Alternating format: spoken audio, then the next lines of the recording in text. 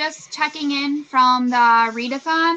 Uh, got my snacks already. Got some smoothie that I made this morning, banana with chocolate syrup, and pickles. Yeah, I know. Sounds kind of a disgusting combination, but they're actually both really good, just not together. Anyways, progress so far. Um, I've listened to the end of one disc of the Astonishing Life of Octavian Nothing, and then I listened to another full disc. Yay! Uh, I don't know, it counts as reading when I have to do other stuff like shower and be clean.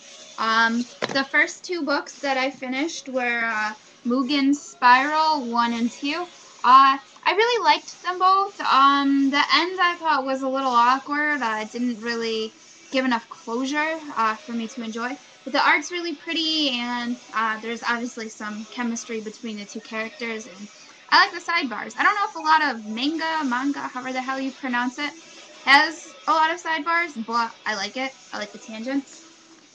And then my third book that I read today so far is uh, The First Part Last by Angela Johnson, which I totally recommend. It's so good.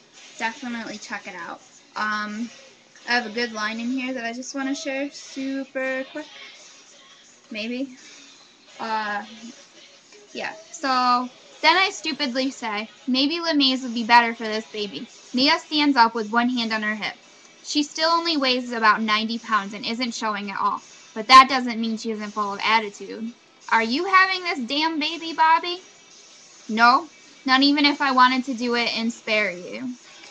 I don't know, I thought it was kind of cute, kind of funny, uh, good representation of the relationship.